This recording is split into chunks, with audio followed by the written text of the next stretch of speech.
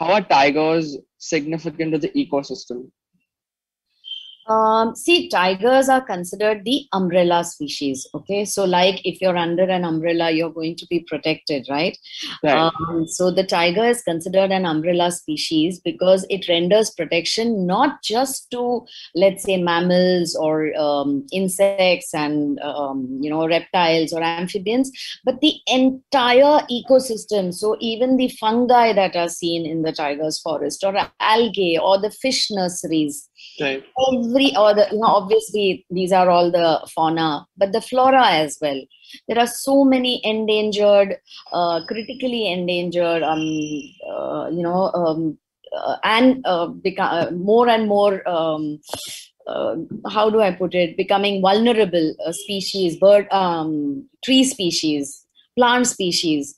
So all this is protected by just us protecting the tiger.